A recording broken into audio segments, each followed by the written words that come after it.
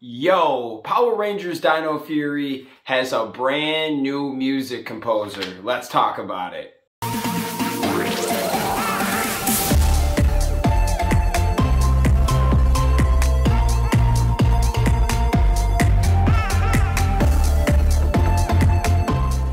What's going on everyone? It's your boy D Braz, Dan Brazen in the building. I hope you guys are having a wonderful day. I have some news for you. And like we said in the intro, Power Rangers has a new music composer. And you know me, I'm a musician. I have hella songs. Go check out our, our page, our music tab, bunch of different music. Go check that out. But when I heard that they were going to have a new music composer, I'm sitting here like, really? So we've kind of had the same dude from like Samurai on make the music. You know, it's been a good almost 10 years this guy's been making music. So we've been used to it. It's It's been decent. It hasn't been amazing, but some songs better than others. Um, I did like some of the, the music in the show. But you know, the fans always complain that they always go back to Mighty Morphin and Go Go Power Rangers. And at the same time, it's like that's what hits. That's what gets kids going. That's what kind of helps sell toys. Um, it's kind of a perfect advertisement. Like you play with the toys, Go Go Power Ranger. You know, it's it's real. So our new composer's name is Bert Celine, Selen, something like that is S-E-L-E-N. Uh, this is awesome. He's 35 years old, so a little bit of a younger guy compared to some of the previous music composers.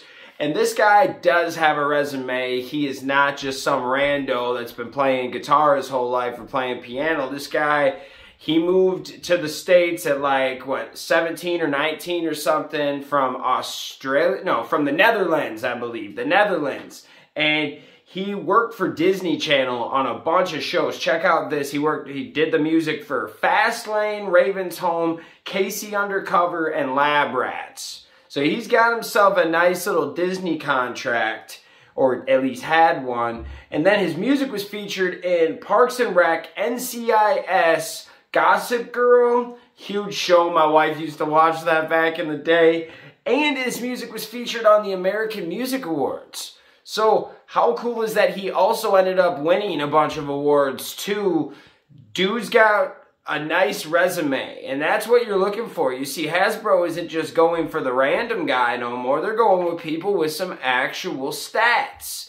That's great. Like, quit starting my my 2K player off at a 70. Let me get a speed boost real quick. You know what I'm saying? Or like with Legacy Wars, let me get a bonus. Like, let me get a, a powerful character real quick to, to compete, man. Because that's what you need. I like it. Now, we're not for sure if we're going to get music that's original 100%. Um, in the past few shows, they'll give you like three or four original little soundtrack sounds, you know, in the background, and then they kind of play off of the Mighty Morphin sounds. Now, you know, there's always a Bulk and Skull you know, something like that. And then you will always have a do, do, do, do, do, do. Always have one of those.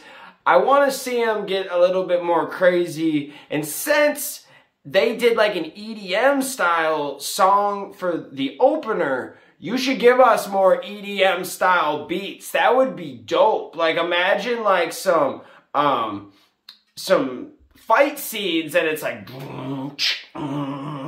like, I could just see some crazy stuff. Give us some hip hop. Give us some EDM. That's what the kids like these days, man.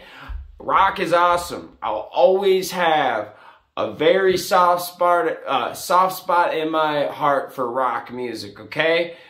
But rock isn't the party music. It's not the, the in thing no more. And why do I say party is because that's kind of like the in thing. Like rock and roll for like 40 years was like the party music, meaning that everyone listened to it. They they went out, they they they had birthday parties playing the music. They they had beer parties, football parties playing that music, college parties, man. Um, so I wanted them to keep switching it up. I remember everyone hated on the Power Rangers Mystic Force theme song, and now it seems like one of the most classic favorite theme songs of Power Rangers Go look that up if you've never heard that one. It's got like some OutKast influence. It's got that er, like that 2006 like all right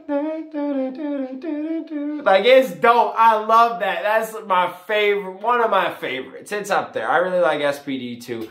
The Power Rangers have had some awesome theme songs in the past, but when they got it back in the Neo Saban era, they just kind of wanted to grab on the heartstrings of nostalgia, and that's why you get the Go Go Power Rangers, like every single theme song, half of it is Mighty Morphin because they know that will sell. It pulls on nostalgia strings for adults and little kids. It's still catchy to them.